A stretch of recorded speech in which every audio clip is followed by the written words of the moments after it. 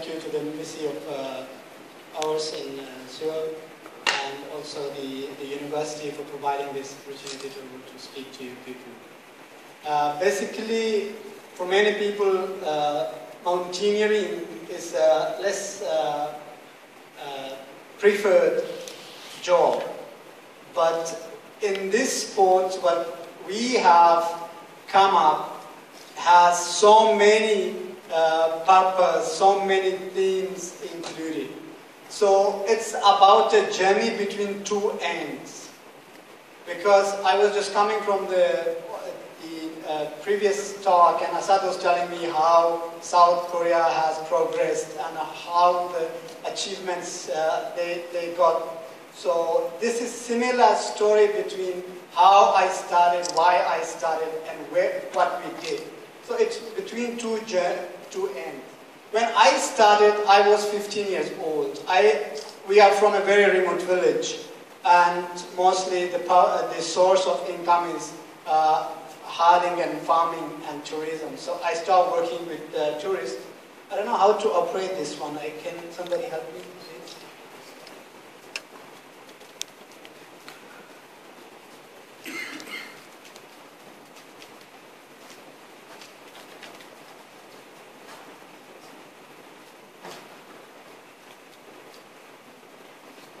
So we are from Pakistan, and in Pakistan, we uh, you can see the red circle. That's Shimshal village in Upper Hunza, Gilgit, Baltistan. So the village is almost 3,300 meters above sea level, and it's the frontier village. Around the, mount, uh, the village, we have enormous number of mountains, ranging between 5,000 to 7,000 and 8,000 meters. So as I mentioned, our village basically is a herding and farming. Uh, we have this source herding and farming. So we grow yaks and sheep. That is the main source. And, but the people are so much advanced and they send the, uh, their children to school. We have a very beautiful culture as most of the time you see on, on the television bomb blasts and so much bad about Pakistan, but Pakistan is so much colorful and so much beauty. So this is the culture from uh, our village. As most of the time people think uh, women are not allowed. So it's not only Samina Baig, uh, there are so many women in Pakistan. Uh, even we had the Prime Minister, first female Prime Minister, we had speaker, female speaker, and then so many politicians, and we have sports, uh, females in sports, and even in the army. So this is the beautiful side that hardly people see. And as we are from the mountains, so this is uh, uh, Baltoro Glacier, uh, which hosts most of the uh, four 8,000 meter peaks out of uh, 14 in the world. So you can see Pakistan is so much blessed. So this is K2, the magnificent K2, which is the second highest mountain in the world. And also Savage Mountain, and also called Mountain of Mountaineers. And this is Nanga Parbat, the killer mountain, and you can see uh, the beauty we have in Pakistan is just matchless. And showing you, uh, and this is how people, uh, even uh, all over the world, come and conquer the great mountains in, in the Karakoram, Hindu Kush, and the Himalayas, the lesser Himalayas. So a short glimpse of Pakistan, which can show how beautiful is Pakistan. So this is Pakistan monument. We have four provinces, and these are the uh, main historical pictures that I included in the slide. Again, you can see what we have actually, rather the picture on the television. So when I started, I was 16 years old. I mentioned in my first uh, uh, uh slide started from 120 rupees shoes, which is almost one dollar, and then finally the journey from uh, one and a half dollar to one thousand dollar shoes. So when I started, I had no proper equipment. Uh, you can see the shoes and the clothes. It's absolutely inappropriate for mountaineering. But what I had was commitment, dedication to do something different. I worked as a low porter, I worked as a cook helper, I worked as a high altitude porter. But as I saw the people coming from all over the world to climb mountains, and even they had women as well. So I thought, these people are coming from all over the world. What, why not our local people coming to conquer these mountains? Why we are not exploring what we have in Pakistan? Even we have three mountain ranges, the junction point, and still we have not. And no women. So I said, okay. I worked high porter, and one, one of my expedition, I went to this village called Arando in, in Baltistan. And I went in and saw the situation, it is one room, and the kids were, you can see in the picture, very similar when I studied. I didn't go to any uh, English medium school, I didn't go to any uh, institute. I studied truly in private uh, uh, privately, but I didn't give up. I, I did my graduation. But I had a very similar beginning. So I thought, why not? And I went into the people and said, I'm going to build a school here. And they laughed at me and said, you are yourself a porter, how come you're going to build a school here? So that was in 2005. And after four years, in 2009, I didn't give, I worked. From 2006, I started working. I said, I have to get women involved in the sport. Even I was telling story to Samina that when you grow big, we will start climbing together mountains. And my main mission was to engage women in outdoor sports, in adventure sport. So Sadia Shajil from Lahore uh, joined me on uh, my first expedition to a 7,000 meter peak. I went to the same village and I said, I have still my promise in my mind. And they said, because the situation, the condition in the school was the same. So they said, okay, we, we have a little hope because you are now the expedition leader. And in 2010, from 2006, I started to engage youth and women, and the ultimate goal was 2013. But as we go to uh, primary, uh, nursery, primary, middle, and high school, similarly, we had to go different levels to achieve our goals. So, and in 2010, I started Pakistan Youth Outreach with the objective to promote outdoor sports in Pakistan and also involve women in this sport because outdoor sports and winter sports has great uh, uh, scope in, in Western world.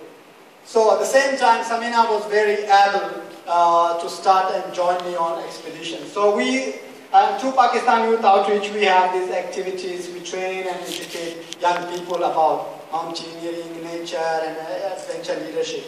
So in 2010, uh, we had this first expedition to a 6,400 meter peak. And Samina, when started it, she had the similar conditions what we, I had, with no proper equipment, but we both had a sheer determination of doing different.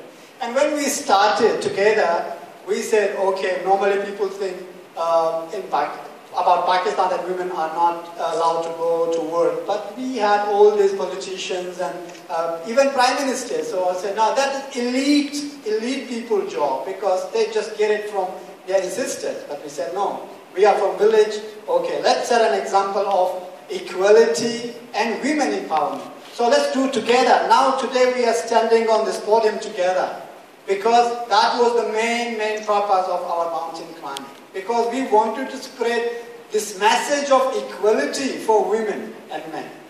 And break that barrier if some people thinking, no, women are not allowed or it's a male-dominated society. So after climbing with less equipment, less resources, we climbed and summited the peak, the 6,400 meter peak for the first time.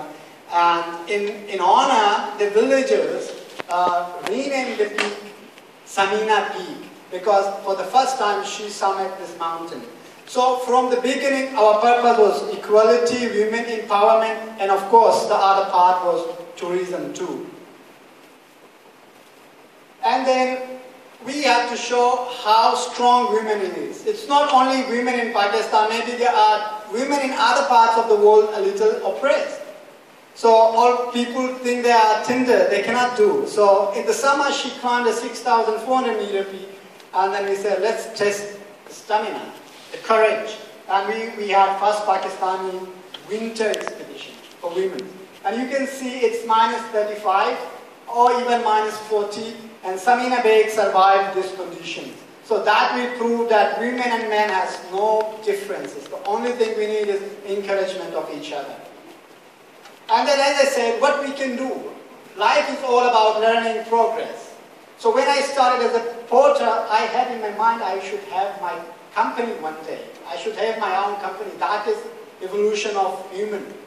So after maybe eight years, I established my company, a traveling agency, Karakoram Expedition. So this is how we should set a, set a, a, a target in our lives that what we are going to achieve and also how to benefit other people. Most of the time we blame our government so that this is not provided, this is not provided, but have we ever tried to do something different within ourselves? Like, mashallah, I learned that most of the students are here, PhD students from Pakistan. That's, that's wonderful. And I hope that they will go back to Pakistan and if there are 50 PhD students, there will be 500 PhD students next level. So anyhow, this was the achievement that I wanted. And we continued. We prepared ourselves. Because our objective, our target was Mount Everest in 2013. So from 2010, we had to train. We had to practice. And this was uh, 2011, we climbed the Virgin Peak, unnamed and unclimbed with Polish and German friends. And there were women also. So Pakistani women was there too.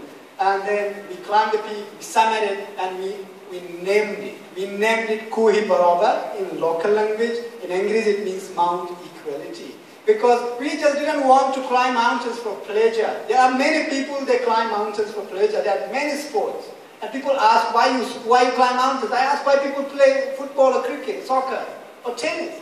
These are sports, but these are reflection of a society. How strong, how objective, how brave the society, the youth are. So we are one example from Pakistan. Our youth is so amazing. We have a young um, diplomat here, and I have met many young diplomats when we went to the seven continents. So Alhamdulillah, it's so wonderful. The youth are so positive, energetic, and progressive. Anyhow, so it continued. You see the gender equality we had uh, on our every expedition. So this was uh, a 7,000 uh, meter peak uh, in 2012.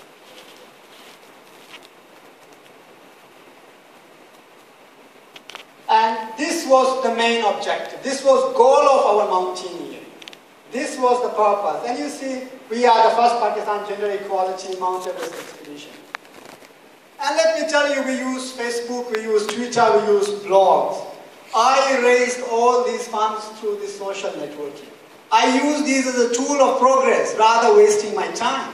I raised funds. And you remember I had a promise with this village seven years, nine years back, and I fulfilled it. I built a school in this village, and this is the opening picture of this small school. It's, it's, it, I started as a primary school, but this year uh, we expanded and it's now a middle school and will educate 250 to 300 children in the next two, three years. This is the. Now we about, talk about gender equality. You see about human, human behavior.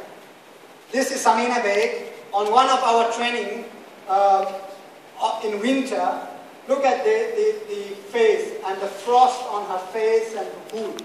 This is how we train if we want to achieve something different. And look, this is me. So both of us had the same situation. There was no difference. And she, only thing she required was support, encouragement, and she proved it. She did what I did, so there is no difference. These were all the trainings that we had for Mount Everest. And this was the, the press conference before going to Mount Everest. And people thought, oh, she's so small, how possible she is going to climb Mount Everest? They didn't know the success comes from the brain. If you have commitment from your head, nothing can stop you. And we embarked on the expedition. And this is Nepal. And the outfitter gave us these scarves of blessing for safety. And then one thing we should know that it's not about only Pakistan. Every, every country, every youth, if they do something good, they should be proud of it. And then because the 60th anniversary, we were representing Pakistan and the women and brothers and sisters, siblings. And then we had these shirts and we said, we are doing good because most of the news were bad, bombing, blast, killing about Pakistan. They said, we are, because thousands of people came to climb Everest on its 60th anniversary. And we said, we are from Pakistan. And we love our country because we are doing good things. And each of you should be proud if you are doing something great. So we continue the journey. Thank you. After eight days of trek, we got to the base camp of Mount Everest. And this is a puja ritual of Buddhists uh, because they, they offer some blessing, the verses, and then they, because of the safety to climb the mountain. And this is the training camp out of puja. You see, it's nothing easy in life. You people have achieved, you know, you know how to work hard. If you want to be a PhD student, if you want to do something different, how hard work you need to do. And this is how if you want to climb a mountain, you have to put physical, emotional, mental, to prepare to face every challenge in life. And that is me, and this is Samina Baig. And you can see the first picture with the frost, and this picture with the same, same uh, difficult level. So she did what I did. So there is no difference. This is the proven fact that there is no difference between men and women. Only we need to encourage each other. And then this is Mount Everest Base Camp. We were so happy because we were there. We, just two of us. There were many people from all over the world. And we were very blessed and very lucky and very proud to be there on this occasion. And then the climbing started. This is Khumbu Icefall. Uh, normally you have to climb through the night because even everything you have to climb. Very accurate planning you need. If you need to succeed in life, you need to have a very proper planning what you need to do. You must know about your achievement, about your hardship and the counter to the hardship to get it solved. So this is how we climb in the dark, in the night at 1 o'clock at 2 o'clock in the morning so that the ice is frozen and it's safe. And you see, in life, these are reflection. We take mountaineering as a metaphor in life. Because if you want to achieve something great, we have to go through great challenges. Rather simple challenges. To achieve something remarkable, you have to go through great challenges. So this is how when you climb mountains, you go, it's not about win and lose, it's about death and life. And then how you plan it, even having the faith in Allah, uh, you have to make proper decisions. So this is the Khumbu Ice Fall, and then this is the Lhotse face of Mount Everest. So you can see the sheer difficult level here, and Samina Baig is here, you can see she's climbing the Lhotse face toward 3 on Mount Everest.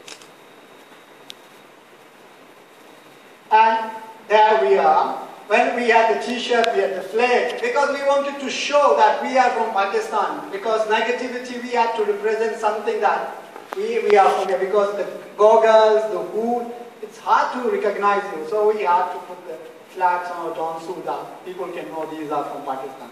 So this is Camp 3 of Mount Everest. Uh, Samina became first to achieve this height. Even people thought she wouldn't make it to base camp or even to camp 1. She came to, she reached camp 3. So this is 60th anniversary, many people climb Everest because in many uh, out of 7 billion people, it's ultimate goal to reach on top of the world. Because if you stand on top of the world, this is a something amazing achievement. You fly at 29, 30,000 feet and you look mountains just cross. And then if you climb and stand on top of the world, definitely it's something amazing. And it is similar to any other achievement, you know, in life. It is not just you take it, a reflection in your life, what you can achieve. So anyhow, this is how people climb uh, on the 60th anniversary toward the summit. So this is Camp 4, which is also called the South Col. And then we got there because people thought I mean, I may not get to the summit. And we said, no, let's make a picture and show that we can reach to the top of uh, Mount Everest. Even we reached at this altitude. And then we had the t-shirt with us here. We were very happy to have the t-shirt with us all the time. Okay, from here, I give the mic to Samina. Quality is so important.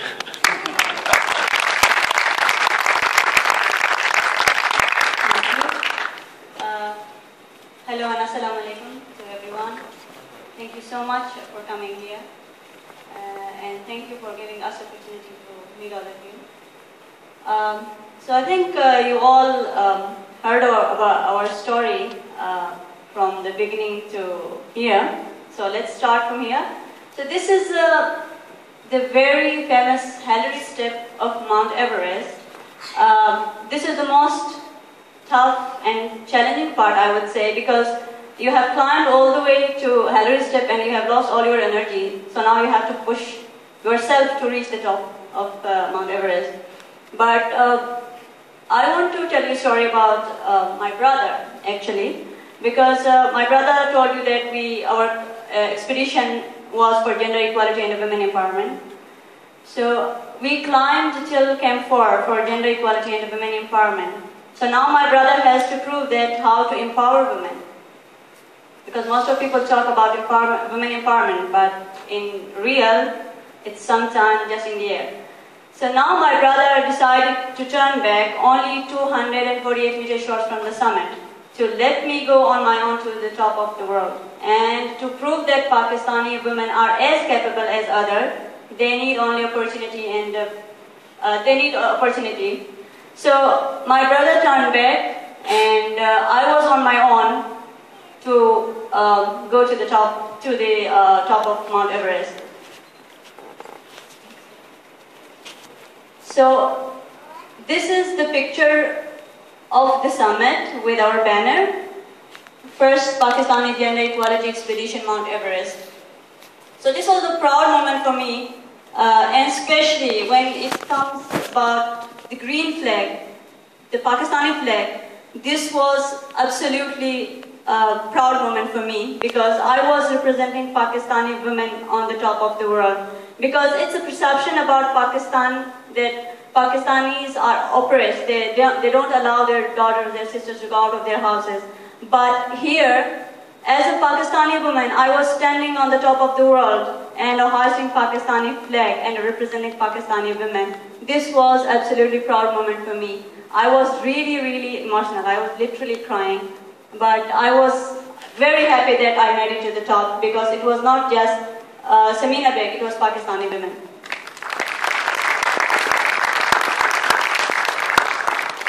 Now, um, going to the top is easy. I mean, you have energy.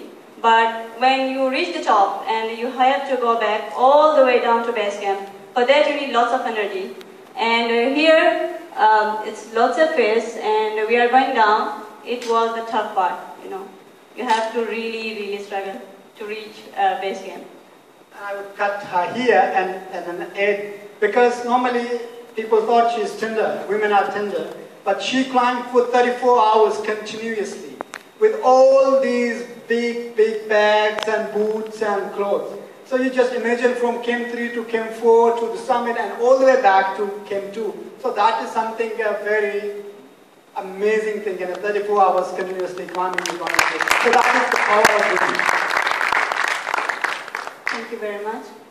And this is uh, the Khumbu Ice Fall, uh, which is very, very dangerous part. If you make one wrong step, you will go. Yeah. So, and we come to Nepal back. So this is the um, society, this is the uh, organization of Nepal. They, they heard that Pakistani woman has climbed Mount Everest and they were really so happy uh, uh, and they uh, give me um, uh, this certificate and appreciation. So this is the picture from there. And this is uh, Pakistani embassy in Nepal. They honored us and uh, they gave us a, a target. As I mentioned, it's not just two of us to glorify us, what, what, who we are. It's just the achievement a common youth does in Pakistan and they get the recognition. So this is the recognition of the achievement rather Mirza Ali and Samina Baig. So the embassy, our embassy in Nepal host us, they admired us, they recognized us because normally people think you will be shot, shot down, you will be, you know, thrown here, thrown there, paid, big things. You know, Pakistani women are not allowed to do this. So this is how the appreciation she got. This is the reflection that Pakistan, even women are so much supported. So these are the reflection of the appreciation. And when we arrived in Islamabad, the chief minister of uh, Gilgit-Baltistan and the, the, the, president of Alpine Club, they came to receive us at the, at, at the airport in Islamabad. So these are, we can show you that it's not that people discouraged her what she did. People encouraged us, even from a common man to the government officials, at the highest level even. So the highest level, that is how normal. You can see a youth has done this and then the prime minister, the president invites them and encourages them. So this is the, the president of Pakistan at that time, Mr. Asif Zardari, uh, gave us this uh, opportunity to meet him. He encouraged, he uh, he lauded what she did or we did. And then we met the, the prime minister of Pakistan. So this is how mostly people think um, women are discouraged, you know, in Pakistan. But these are all the uh, proofs that women is always, always supported in Pakistan. So now we have done Mount Everest, okay, the highest point, and people say, okay, what next now? Life is all about progress, you know. You have to plan accordingly what you can do next. It's all about evolution. So, and then we came back, and then they said, what do you want to do? So we said, we are going to climb the seven highest mountains in seven continents, because nobody has done it before from Pakistan. And then we said, okay, we met the, the Serena Hotel in Islamabad. They host a meeting with ambassadors of uh, these countries where the mountains uh, exist. So we had the ambassador from US, Nepal, Russia, Indonesia, and Argentina.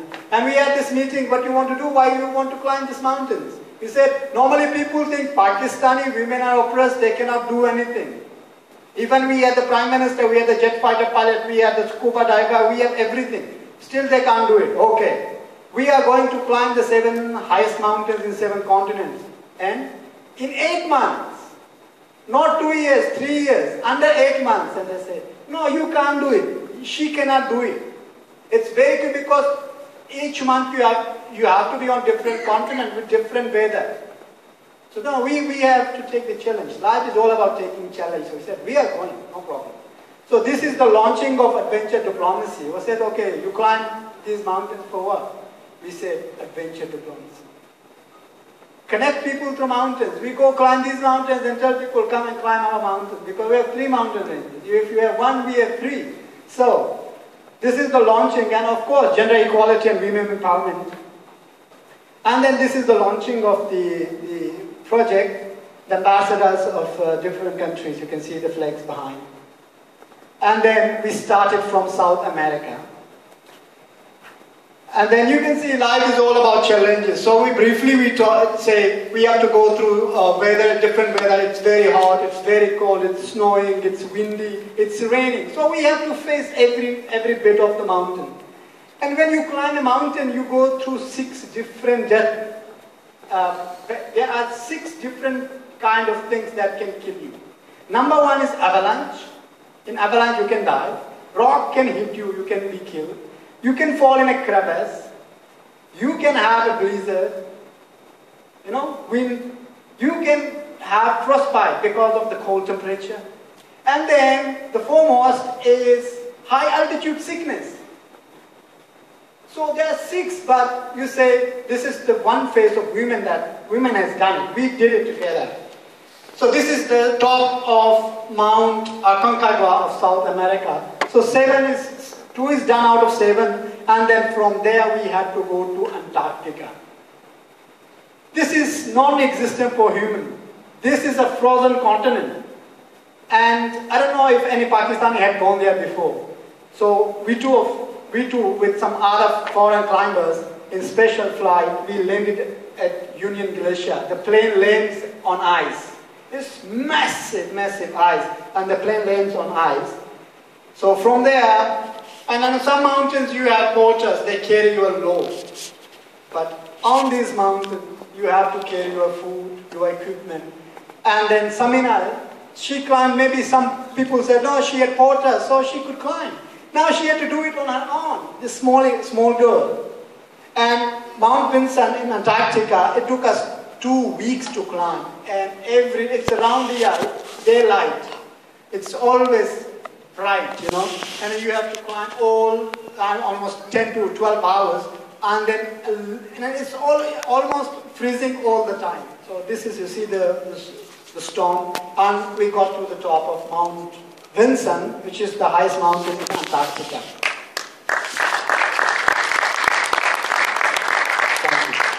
I'm sorry because I'm taking longer. So this is the picture of Mount Kilimanjaro. People go for running on this mountain.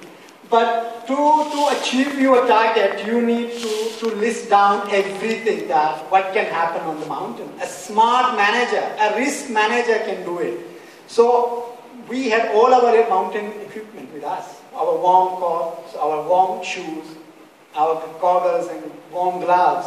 So we said, no problem, even it's, it's the easiest mountain is running in the park because it's a dry mountain. But because we were prepared. And when we started the climb, it was raining. And then you see, this is Kilimanjaro. Normally it's all dry and it's sunny. People climb this mountain in t-shirt.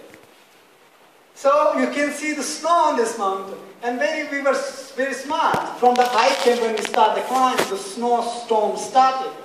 And all those t-shirts and jogging shoes, they just turned back because almost Helmut hypothermia was attacking them. So you can see this Trek Peak, we had our down suits and down coat because we were prepared, we had the plan that anything can happen. So it's similarly in other professions, if you want to achieve your dreams, you, can, you have to plan, proper planning. So the less chance of failure. If we had known these down suits, we would have never climbed Mount Kilimanjaro.